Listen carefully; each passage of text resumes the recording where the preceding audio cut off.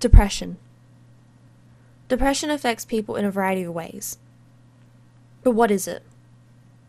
Depression is a mental health disorder characterized by persistently depressed moods or loss of interest in activities causing significant impairment in daily life. How is it how it affects people is variant, but this is how it can be talked about in the broad sense. The persistent feeling of sadness or loss or of interest that characterizes major depressing depression can lead to a range of behavioral and physical symptoms. These may include change in sleep, appetite, energy loss, concentration, daily behavior, or self esteem.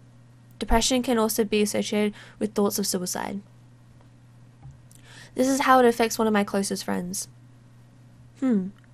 I guess it's kind of like I can't do anything anymore, like both mentally and physically. I don't have motivation to do anything, even getting out of bed sometimes, and when I do, it's never enough. A lot of times when it gets really bad, a lot of things will send me into a breakdown. It's just a bit of a mess.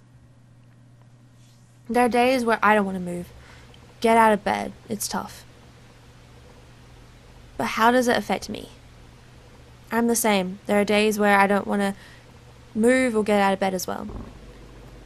Why should I when the world hates me? Days where eating is too much to handle.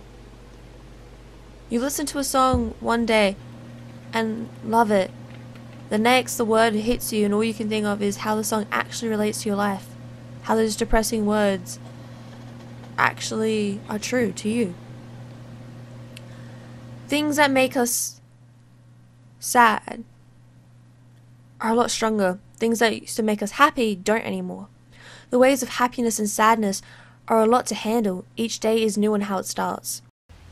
Thinking I'm not good enough for you, not good enough for myself or for anyone. Looks in the mirror, hates what I see.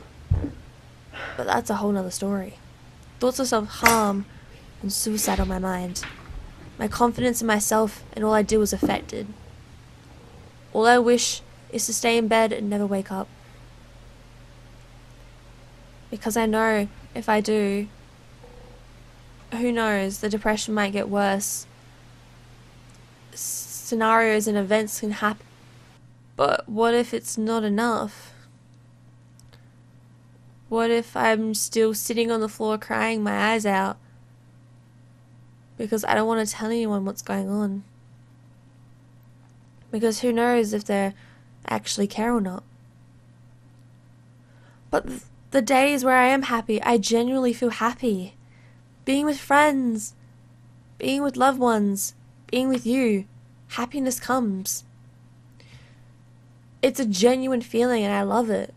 The feeling of happiness and just being free in myself. It's hard to feel.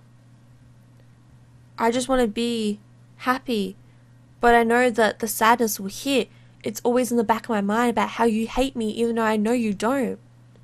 I pray that the good stays, but I know it will go in a flash of a camera. Something that everyone should know. It doesn't affect everyone the same. It's very different for everyone, but that doesn't mean it shouldn't be taken just as seriously.